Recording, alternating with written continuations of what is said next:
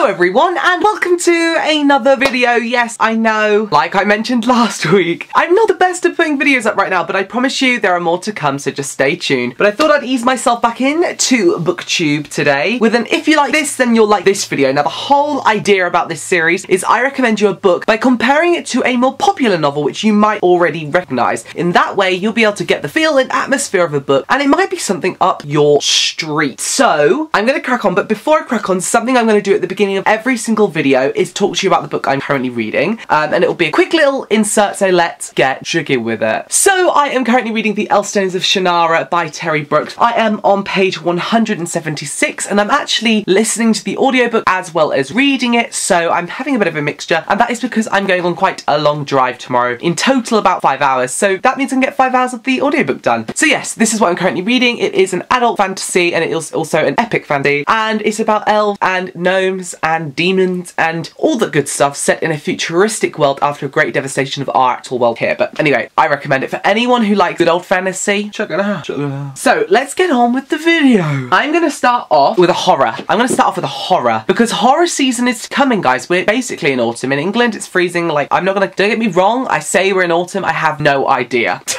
but anyway, I'm gonna recommend to you an, a horror. So there is a book coming out called There's Someone Inside Your House by Stephanie Perkins. This is the proof edition, and if you want to look at the final cover, it is magically appearing on the screen right in front of you. Thumbs up for the incredible editing software.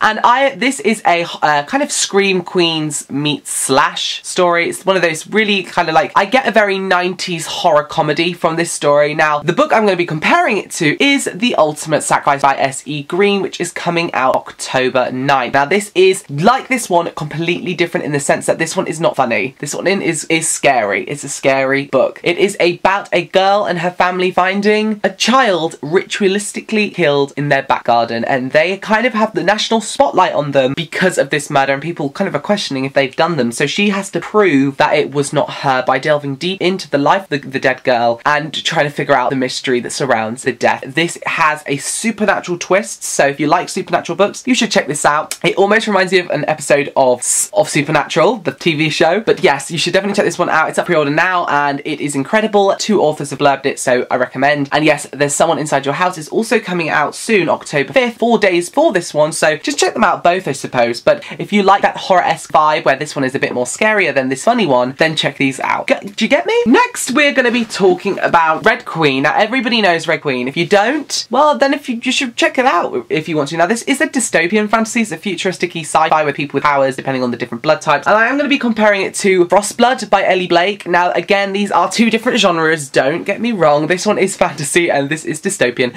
But the element of somebody being able to control an element and also the coloured blood and also this idea of an arena, then I'm comparing the both. So in Frostblood, which is the one which I'm comparing, is basically about a girl who is a fireblood in, in a world where firebloods are basically killed and is ruled by a very tyrant frostblood king. Now frostbloods have blue blood and firebloods have red blood. And fireblood means you control fire and frostblood means you control frost. So it's about a girl getting caught up with some court intrigue and actually, well, a lot of stuff happens. But this is enriched with mythology and also the idea which I just mentioned about the whole arena part. There's this whole arena section in the Frostblood where she has to go and fight for the Frostblood King. Although he doesn't think she's gonna win, she does. And it reminds me of Red Queen because there's arenas in the Red Queen as well where people fight their positions. So yeah, if you like either one of these, check the other one out. I've read them both. Let me know if you get my comparison. And if you haven't read them both, check them out. They might be something up your street. They might be. Next, I'm going to be recommending a dystopian, a dystopian, D-D-D-D-D, Divergent.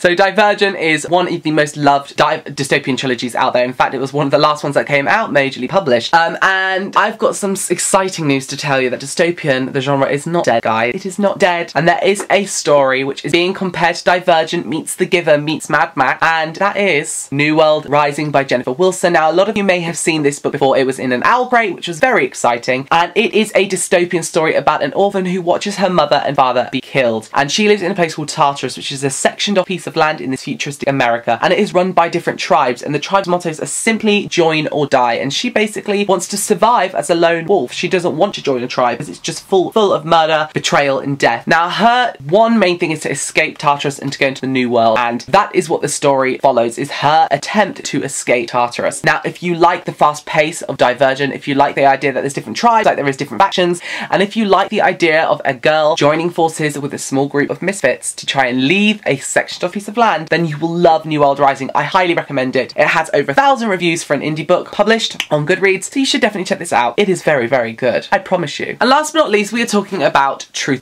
Truth Blood, Truth Witch by Susan Dennard. Now, Truth Witch is about a world where people are witches and they are witches of a certain thing, whether that be Fire Witch, Truth Witch, or Red Witch, and I'm comparing it to Air Awakens by Elise Kova. Now, Air Awakens by Elise Kova is a high fantasy set in this wonderfully rich world, and I, to be honest, a lot of you may have already read this because it is very popular, but this is about a girl who can control air, and she is basically one of the last to control air, and she must join with a prince and his brother to kind of sort out the kingdom, and it is filled with intrigue, romance, and action, and it is actually one of a really, really amazing series. I've read the entire series except for the novellas, but there is five books in the series and novellas, which are three books in a novella, and I believe she's writing more, so you just need to get into this series. It's so rich, it's so detailed, it's so deep with information, and knowledge, it's just so exciting.